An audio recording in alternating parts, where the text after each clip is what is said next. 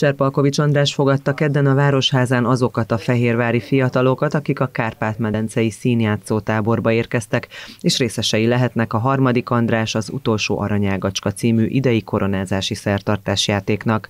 A polgármester köszöntőjében úgy fogalmazott, a fiatalok jelenléte szépen kapcsolódik az előttünk álló egyedülálló előadás szellemiségéhez, ami a nemzet történelméről szól a nemzet történelmi fővárosában. Már egy évtizede annak, hogy elindítottuk ezt a szertartásjátékot, amivel gyakorlatilag ezt az emléket hozzuk elő, és ez nagyon szépen kapcsolódik az, hogy határon túlról érkezett magyar fiatalok táboroznak, és egyben részt is vesznek a szertartásjátékban. A táborozókat Hornung Ágnes, a Kulturális és Innovációs Minisztérium államtitkára is köszöntötte, aki kiemelte, Magyarországnak ugyanolyan fontos az, hogy most itt lehetnek, mint a határon túlélő fiataloknak, hiszen, mint mondta, egy nemzet vagyunk, számunkra nem léteznek határok. Számunkra ugyanolyan fontosak a külhoni magyarok, mint, a, mint, mint itt a Magyarországon élő magyarok, és a magyar kormány arra törekszik, hogy mindenkinek megadja ugyanazokat a lehetőségeket, és azért dolgozunk, hogy a kül, külhoni magyarok is ugyanazokat a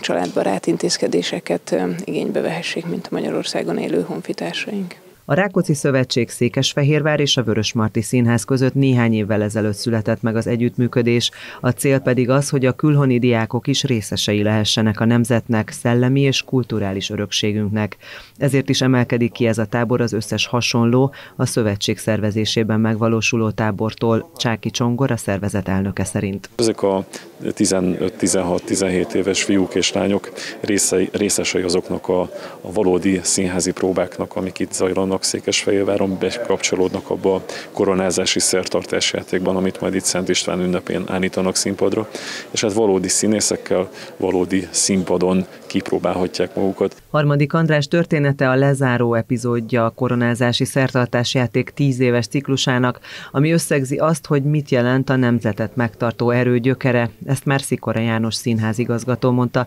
aki szintén köszönetét fejezte ki a külhoni diákoknak az éjszakában nyúló szorgalmas próbákért, és azért, hogy részt vesznek a grandiózus darab megvalósításában. Az Árpád ház az tulajdonképpen ez a nemzetet megtartó erőnek a gyökere. És ha ennek a gyökérnek a történetét boncolgatjuk, próbáljuk megvalósítani, akkor kihagyhatatlan azoknak az embereknek a köre, akik számára az a kérdés, hogy magyar magyarnak lenni, az egy nagyon fontos létkérdés, egy tudatos vállalás, és ők ugyanúgy részesei ennek a nemzetnek és ennek a szellemi és kulturális örökségnek. A tábor és a próbák tehát gőzerővel zajlanak, a fiatalok szereplését pedig augusztus 19-én, 20-án és 21-én 21 órától tekinthetik meg a történelem kedvelői a Nemzeti Emlékhelyen.